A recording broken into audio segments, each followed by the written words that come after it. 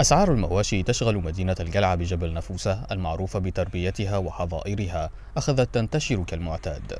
والأثمان تراوح عند ألف دينار أو أزيد بخمسمائة للخروف الوطني. المربين عندهم حق لأن العلفة كانت تلحق ل 300 جنيه والبوت بتاع المية رفعوا فيه الصحراء ب 200 جنيه والبنزينة ما فيش النافطة ما فيش ياخذ في البنزينة من السوق السوداء. معناها طبعا بيعدى على السعي هذا. والسعي تو يعتبر في بلدنا والجميع.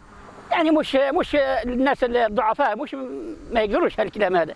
ولكن الناس اللي عندها سيولة وعندها كذا وبعدين زيد على هذا السيولة ما فيش. وإن سألت المربين فسيحدثونك عن غلاء أسعار الأعلاف والأدوية وارتفاع تكلفة صهاريج المياه ونقص البنزين الباهظ ثمنه في السوق السوداء. ومن جهة المواطنين فالأضاحي المستوردة هي الهاجز المخلص في تقديرهم من غلاء الأضحية الوطنية. الأسعار والله تعتبر في متناول الجميع صراحة وين تشوف للمناطق الثانية بالنسبة للقلعة في متناول الجميع. واللي ما عندهاش سيولة نبيعوا بشيك ما عندناش مشكلة. اللي, اللي وحتى اللي ما عندهاش افتراضا بكل ما ما, ما, ما نخلوش يعني. ما نخلوش فهمت؟ والحكايه تشوف فيها انت. والله نعانوا في معاناة صراحة كمربيين. يعني موضوع المية وموضوع ال البنزينه وموضوع السيارات صراحة والله في في كذا.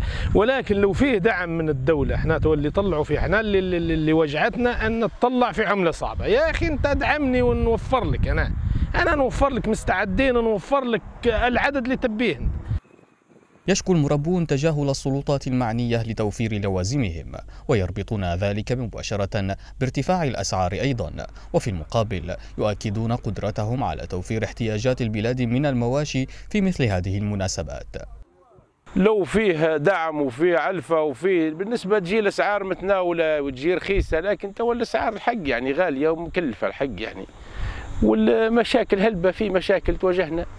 تو حتى البنزينة هي ما فيش. ناخذوا فيها ب 40 جنيه و50 جنيه البدون. باهي قداش بنطلعوا في الصحراء نمشوا 30 و40 كيلو باش نوصلوا المكان اللي عندنا فيه الغنام بين مشتر ومتفرج ومنتظر يواصل المواطن تنقله بين الأسواق والحظائر. لعله يجد أضحية ثمنها على مقاس جيبه دون أن ترهقه في بقية التزاماته إزاء أسرته والمتطلبات المستطاعة. قبيل العيد